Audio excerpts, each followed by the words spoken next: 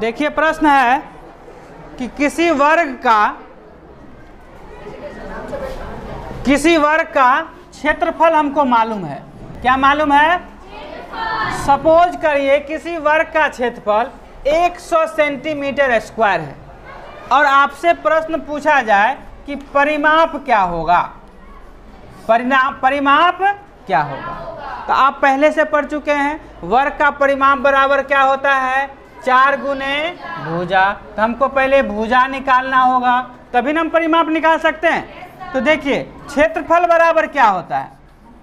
भुजा स्क्वायर। क्या होता है? भुजा स्क्वायर। या जिसे हम लोग क्या कहते हैं? भुजा गुने भुजा। क्या कहते हैं? आपको जो क्षेत्रफल दिया हुआ है, उसको यहाँ लिखते हैं। एक सौ का नहीं यही ना होगा।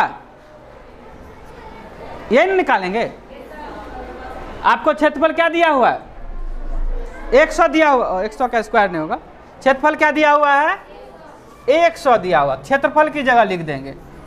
अब हमको भुजा स्क्वायर निकालना है। क्या निकालना है? भुजा स्क्वायर निकालना है। भुजा स्क्वायर का मतलब हुआ कि भुजा गुने भुजा। भुजा गुने यही ना होता है। अगर हम इसको क्या करें, तोड़ दें, इसका वर्गमूल निकालें तो कितना निकलेगा? 100 का वर्गमूल। स्क्वायर का मतलब क्या होगा? इधर भी तोड़ना है तो वर्गमूल निकालेंगे। अगर 10 गुने दस कर देते हैं, यही ना हो गया? 10 गुने दस तो इधर क्या हो जाएगा? भुजा गुने भुजा। अर्थात एक भुजा बराबर क्या हुआ? बराबर 10 सेंटीमीटर। क्या हो गया? 10 सेंटीमीटर। हमको क्या निकालना है? परिमाप निकालना है। क्या निकालना है? परिमाप बराबर क्या बताए? चार गुने भुजा। चार गुने चार लिखे और एक भुजा कितना हुआ? दस। तो कितना हो जाएगा परिमाप? चालीस सेंटीमीटर। ध्यान रखना है कि जब भी वर्ग में क्षेत्रफल देगा, वर्ग का क्षेत्रफल देगा तो या तो एक का स्क्वायर होगा दो का होगा, तीन का होगा, चार का, पाँच का, किसी न किसी का स्क्वायर ही होगा। तब ना भुजा गुने भुजा होगा। कोई भी संख्या होगा, ये वर्ग है।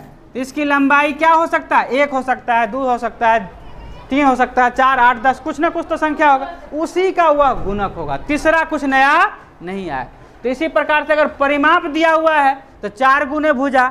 चार, अगर मान लीजिए यहाँ पर परिमाप आपको दिया हुआ रहता कि किसी वर्ग का परिमाप कितना है? सपोज़ करिए 80 सेंटीमीटर है। कितना है? कितना सेंटीमीटर है? तो परिमाप बराबर 80 अब परिमाप का सूत्र क्या होता है? चार गुने भुजा। क्या होता है? अब इसको भुजा को हम सिर्फ़ यहाँ रखेंगे तो चार गुना में तो इस तरफ़ क्या होगा? भाग हो जाएगा। अस्सी बट्टा क्या हो जाएगा? चार। बराबर हो जाएगा भुजा। काट देंगे, कितना हो जाएगा? बीस। तो इस प्रकार से भुजा निकल जाएगा तो क्षेत्रफल निकाल लीजिएगा। मतलब एक पता है तो उसी सूत्र को तोड़कर आप निकाल सकते हैं। बात समझ में आ गया? तो इस प्रकार से परिमाप दिया रहे, क्षेत्रफल दिया रहे तो भुजा भी निकाल सकते हैं, क्षेत्रफल भी निकाल सकते हैं। इतना समझने में किसी को कोई दिक्कत?